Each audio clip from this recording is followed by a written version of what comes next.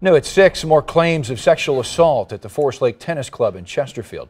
Last year, News 4 reported that Javier Pozo is at the center of a lawsuit against the West County Tennis Club. According to documents, the tennis instructor sexually assaulted a girl when she was between 12 and 16 years of age. The lawsuit also claims Forest Lake Tennis Club, as well as the Miller Tennis Academy, didn't do enough to protect her. Now, a second victim has filed a lawsuit against Pozo and the Forest Lake Club. The suit claims the victim was sexually assaulted when she was 17, and the club ignored the warning signs to prevent assaults on children attending tennis camps.